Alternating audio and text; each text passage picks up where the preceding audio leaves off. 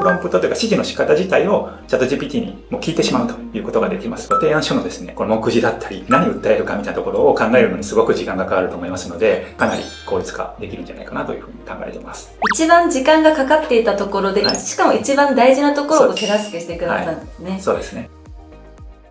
こんにちは、船井オンラインです。本日はビジネスに使えるチャット GPT の活用法について解説いたします。お教えいただくのは、船井総研 DX 支援部の武田さんです。武田さん、よろしくお願いいたします。よろしくお願いします。今回は業務効率化、営業、マーケティングの3つのシーンで使えるチャット GPT の活用方法をお伝えいたします。まず、日常の業務プロセスを効率化し、社員の生産性を向上できるようなチャット GPT の使い方を教えてください。はい。皆さんもすでにですね、チャット GPT 触られたことある方多いと思うんですけども、やはりチャット GPT っていうのは特徴はその文章を作るっていうところが得意です。ですので、まあ、例えば日々のですね、メールだったり、あとは、まあ、議事録だったり、あと、提案書、報告書なんかをですね、えー、作るっていうのが、まあ、日常業務で今使われているところかなというふうに考えています。あとはですね、あの、アイデア出しとか、あの、企画とか、こういったところもですね、使えますので、まあ、これも、あの、デモを見せながらですね、紹介していければなと思ってます。では、今、早速、オープン AI 社のチャット GPT を映しております。はい、こちらご覧いただければと思います。じゃあ、ちょっと早速少しデモしてみましょうか。はい。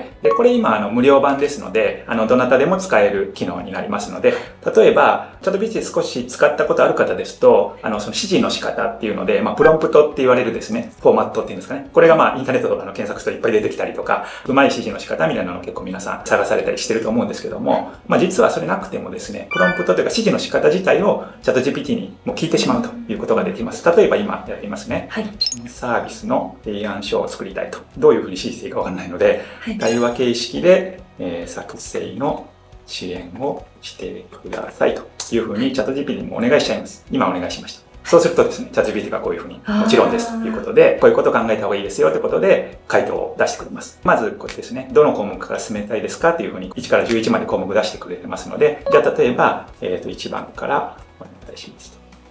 と。というふうに回答します。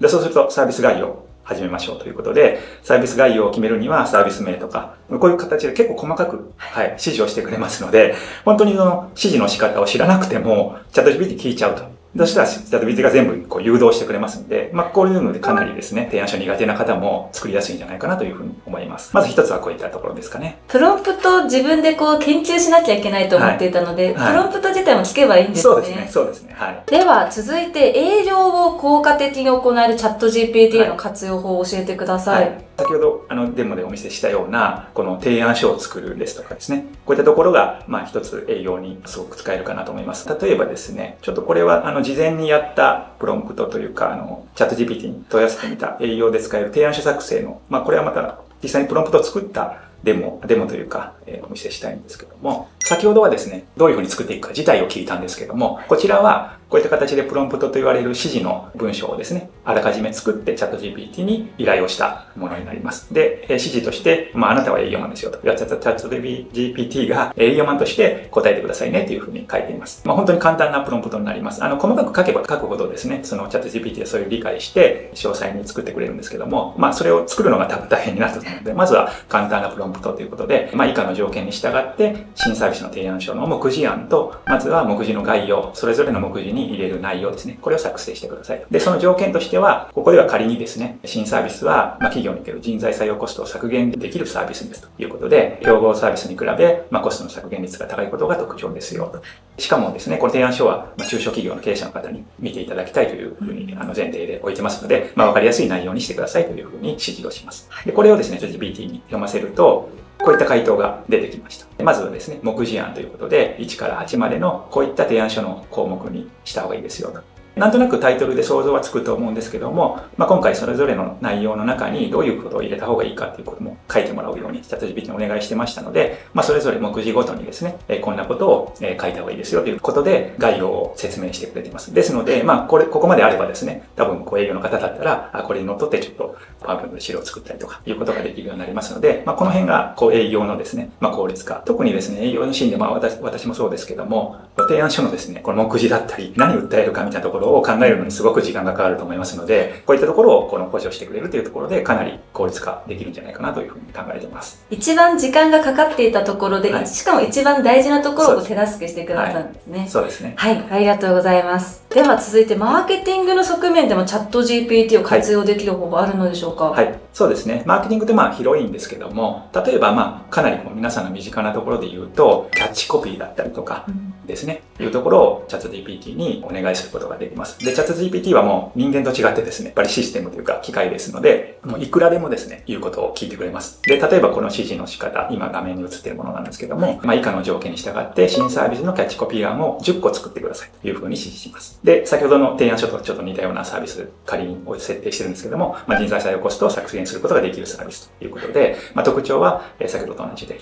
コスト削減に高いですと、まあ、中小企業経営者興味持つ表現にしてくださいということで指示しました。そうするとですね、こういった形で10個出してくれます。これも、あの、キャッチコピーとしてはいいと思うんですけども、もう少しですね、ちょっと物足りないとかですね、あとリスティング広告使いたいなとか結構あると思いますので、ですので、もう一回これに対してですね、追加で下の方にちょっと緑で書いてますけども、リスティング広告に掲載した際に経営者の興味を引き、思わずクリックしてくなるようなキャッチコピーをお願いしますということで、えキャッチコピー自体はですね、まあ、リスティング広告ですと文字数制限とかありますので、一応文字数制限を添えてですね、再度指示をしました。で、そうするとですね、回答がこういった形でですね、結構こうキャッチーなというか、本当にクリックしたくなるようなですね、答えを出してくれます。で、例えばいいところは、ここでまだ漏れ足りないと。なんかちょっとやっぱり10個出してもらったけどピンとこないなと思ったら、再度もうあと10個出してくださいってやっぱ出してくれますので、まあそういった形でですね、自分のですね、欲しい情報っていうのをどんどんこう掘り下げて追加でもらうことができますので、こういったところでですね、マーケティングベースとかでも、まあかなり使えるんじゃないかなというふうに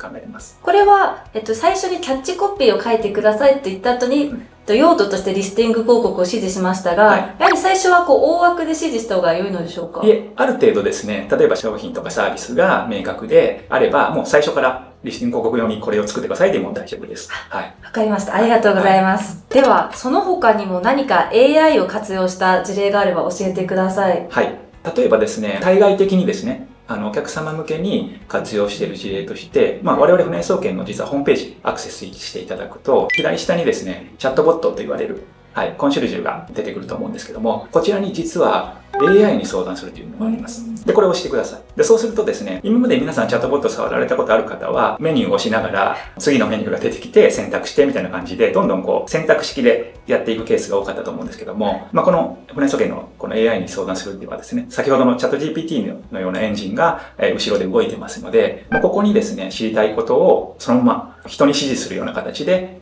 あの送ると。で、例えば、まあ、ちょうど今回はチャット GPT がテーマですので、チャット GPT にに関するセミナーが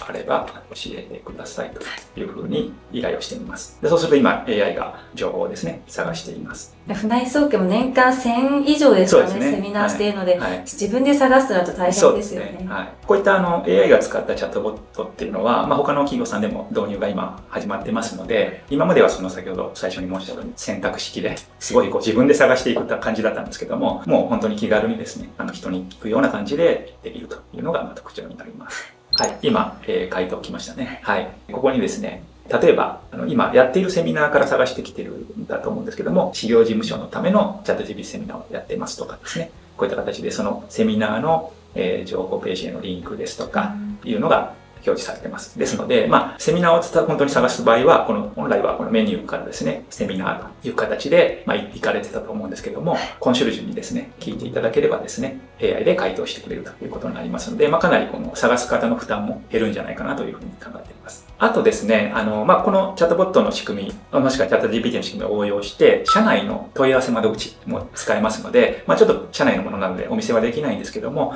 まあ、我々船内総研でもですね、例えば交通費申請どうするんだとか、就業規定どうなってたんだかみたいなところを、今までは都度ですね、各部門、部署の方に問い合わせて、その方が調べて返事をしてくれたのが、まあ、このチャット GPT にですね、各その就業規則ですとか、あと交通費の生産方法ですとか、こういったデータを読み込ませること、学習させることで、チャット GPT、AI が返答すると。いうような社内のヘルプデスクの窓口みたいなのができています。それでかなりこの何ですかね、各業務の担当者の負担も減っているというふうに聞いております。こう人手不足の中でやはりチャット GPT を活用するといいですね。そうですね。はい。経営戦略に AI を活用したい社長に向けて、チャット GPT と生成 AI のビジネス活用時流予測レポート2024を無料配布しております。ご興味のある方は概要欄をご覧ください。本日は武田さんにビジネスに使えるチャット GPT の活用療法についてお話しいただきました。武田さんありがとうございました。ありがとうございました。こちらのチャンネルでは内流経法をベースに企業に役立つ情報を発信しています。ぜひチャンネル登録お願いします。